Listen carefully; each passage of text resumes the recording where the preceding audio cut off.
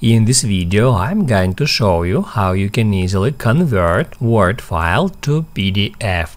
Be sure to watch the video to the very end so you don't make any mistakes and of course do not forget to like this video and subscribe to my channel.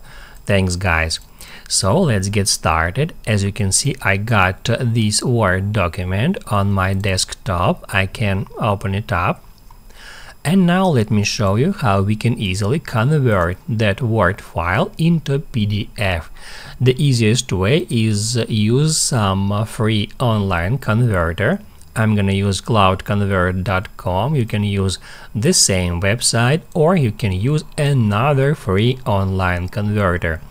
All we have to do guys in order to convert that file to PDF is just drag it over here where it says select file. And then at convert to we need to choose PDF we can find PDF over here or if for some reason we can't find it we need to search for PDF just like that. Then select PDF and then click at convert. And after a couple of seconds as you can see the file has been converted. Now it has a PDF file extension. We can check this file at the preview.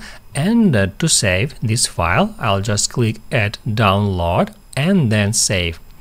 Then I can open up this file on my PC to check that everything is okay. That's how you can easily convert Word document into PDF.